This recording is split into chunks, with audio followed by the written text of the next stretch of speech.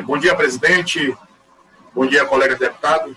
Presidente, eu venho hoje aqui, na verdade, é, destacar que esse final de semana, no sábado, né, a cidade de Bacabal vai completar, completar 101 anos né, de sua fundação.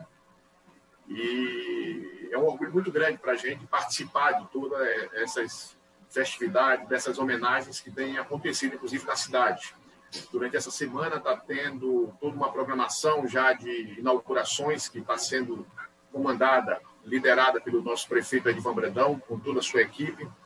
Bacabal que durante algum tempo teve grandes dificuldades na sua infraestrutura, mas desde que o nosso prefeito Edvan Brandão assumiu, né, com apoio nosso, com apoio dos companheiros, com a parceria com o governo do estado, com o governador Flávio Dino, nós conseguimos dar uma resposta importante para a cidade de Bacabal, é, resgatando o bem mais precioso que, que a população pode ter, né? o sentimento mais precioso, que é de orgulho pela cidade. Então, isso foi a marca da administração do prefeito Edvan Brandão, que foi resgatar o orgulho de ser bacabalense. E durante todo esse, esse período, foi, um, foi quase três anos que tem de lutas foi momentos que tiveram em relação a, a, a, um debate político, eleitoral no passado, um processo que se arrastou pelo TSE e a cidade pagou um preço muito grande é, por aquele momento, né? Mas depois da posse do prefeito Edvan Brandão, como presidente da Câmara, assumiu o destino do município, depois foi para uma eleição se consagrou prefeito da cidade pelo voto direto da população e depois disso conseguiu fazer um grande trabalho e tem feito um grande trabalho em prol da nossa população, em prol da nossa cidade. E Bacabal, apesar dessas dificuldades que nós temos vivido hoje em função dessa pandemia, desses momentos de dificuldade no sistema público de saúde, nós estamos conseguindo, através da união, através da parceria com o governo do Estado, é, é, dar esperança, dar ânimo, motivação para a população, para que a gente passe logo por essa dificuldade e retome a tranquilidade, a normalidade da nossa cidade.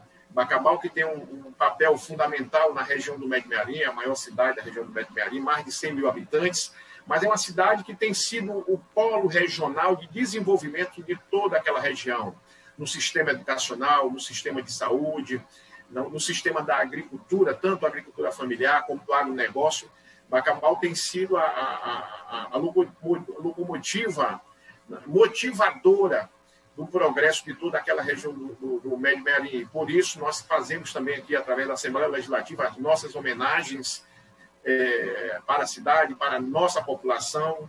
E, se Deus quiser, no sábado, estaremos lá para o fechamento da, da da semana de inaugurações, inclusive entregando uma das maiores obras que o prefeito Edmond poderia entregar para a cidade, que é a reforma e ampliação do Hospital Municipal, que já vem aí há um ano e meio fazendo uma grande reforma, uma, um grande investimento na saúde, e no sábado será entregue. Se Deus quiser, voltará novamente, fazer os atendimentos que tanto a nossa cidade precisa, né? Mas, mesmo com essa reforma, houve grandes investimentos na cidade, na saúde, e como eu disse, através dessas parcerias que foram conquistadas, nós conseguimos dar tranquilidade para a nossa população. Então, eu quero aqui registrar a passagem do aniversário da nossa cidade na Assembleia Legislativa, parabenizar a nossa cidade e, acima de tudo, a nossa população, porque é através dela, é através do esforço, do trabalho dela e do comprometimento dela com a nossa cidade, é que Bacabal conseguiu se tornar essa grande cidade, se tornou a princesa do Médio Merim. Por isso, as nossas homenagens para o povo de Bacabal. Muito obrigado, senhor presidente.